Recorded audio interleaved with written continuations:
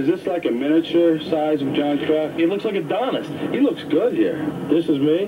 He's wearing about size 28 waist pants. I think they forgot the pouch in the middle. You know, like a kangaroo has a pouch. Johnny has a pouch in the middle. Looks like he can run, too, so I know that definitely is not me. He's clean shaven. John's never been clean shaven.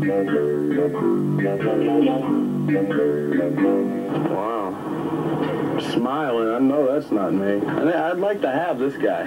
This guy. The other guy, well, you know, Johnny probably hit 200 if he looked like this. When he looks like that, he hits 320.